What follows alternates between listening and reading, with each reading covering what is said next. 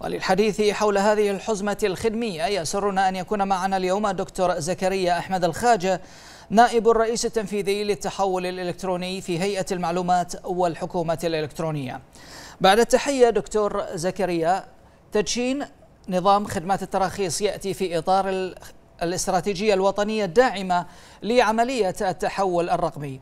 لو تطلعنا أكثر عن هذا الجانب وعن مزايا توفير هذا النظام الجديد. مساكم الله بالخير وطبعا أشكر تلفزيون البحرين على هذه الاستضافة اللي تعطينا فرصة نسلط الضوء أكثر على طبعا التدشين آه، نظام المؤسسه مؤسسه التنظيم العقاري مثل البحرين طبعا هو تدشين المنظومة الإلكترونية يأتي استمرار في جهود هيئة المعلومات الحكومة الإلكترونية في الإسراع في التحول الرقمي للخدمات الحكومية. آه، واختصار في تقديم هذه الخدمات من خلال القنوات الإلكترونية تسهيلا للمواطنين والمقيمين.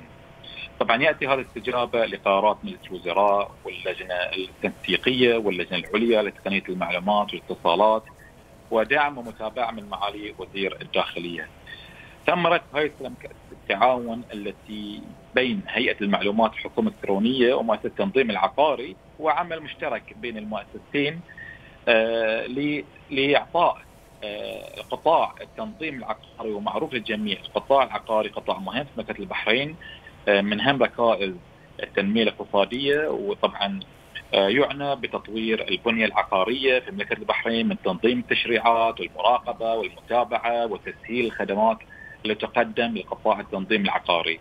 نعم. يأتي هذه تاتي هذه المنظومة الإلكترونية لتسهيل تقديم آه، الخدمات الحكومية للمستفيدين من هذه الخدمات آه، من المستفيدين من مطورين عقاريين ولا كانوا وسطاء ووكلاء مبيعات وتسهيل عملهم الاجراءات الحكومية.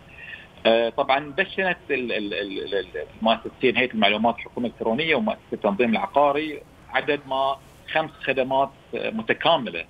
إلكترونية نعم. كمرحلة أولى تقدم للمستفيدين لهذه الخدمات. آه، تعمل على طبعا تسريع وسيلة إنجاز الطلبات آه، المتصلة بالقطاع العقاري عبر قنوات إلكترونية منها Bahrain dot bh البوابه الوطنية للحكومه الإلكترونية ونعمل على تأكيد على أن تقديم هالنوع من الخدمات للمحافظة على سلامة المستفيدين وبالتالي الاقتصار على تقديم هذه الخدمات الحكومية عن طريق القنوات الإلكترونية ومن ثم إلقاء الحضور الشخصي والعناء إلى الذهاب إلى مؤسسة التنظيم العقاري لإنهاء مثل هذه الخدمات الحكومية.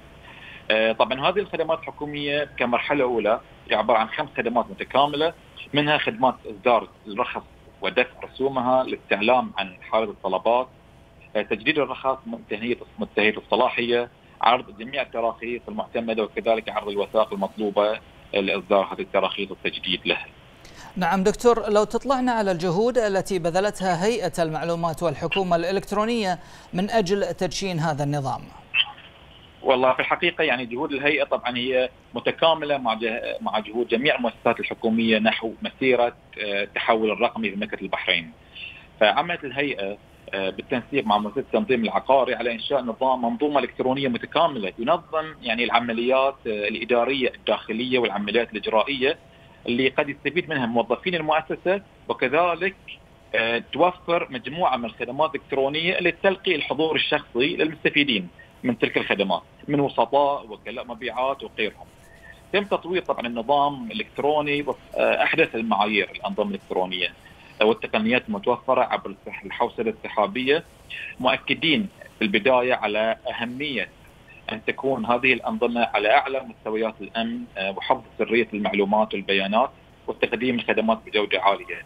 وأكدنا كذلك في هذه المنظومة الإلكترونية كمنظومة متكاملة شاملة تعزز عمليه التكامل والربط الإلكتروني بين الأنظمة الحكومية الأخرى مثل المفتاح الإلكتروني ونظام التسجيل السكاني ونظام سجلات وعمليات الدفع الوطنية فهي منظومة متكاملة تعمل على تسهيل وتنظيم هذا القطاع المهم في مملكة البحرين اللي هو طبعا يعتبر من أهم الجوانب والقطاعات في دفع عجله التنمية الاقتصادية.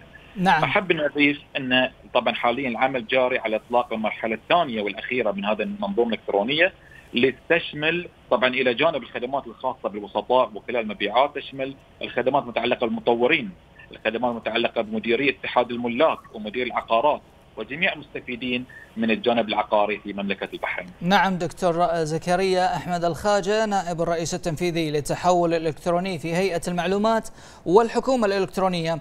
كنت معنا ضيفا كريما في نشرة الأخبار شكرا جزيلا على هذه آه، الإيضاحات.